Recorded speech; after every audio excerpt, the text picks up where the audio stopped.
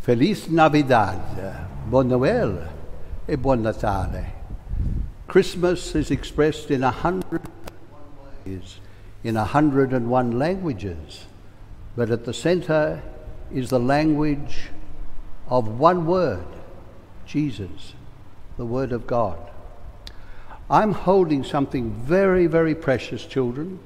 This, this little child was made out of the wood of the olive tree, and it was made in the place of Jesus' birth in Bethlehem.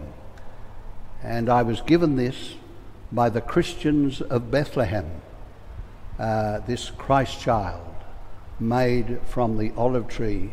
And when the old man gave it to me in Bethlehem just before Christmas, he said, When you go back to Australia, tell the boys and girls to pray for peace to pray for our people, to pray for the Christians in the land of Christ's birth. And that's what I invite all of you children to do.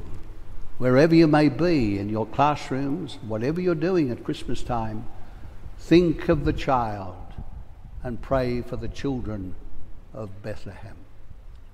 Happy Christmas.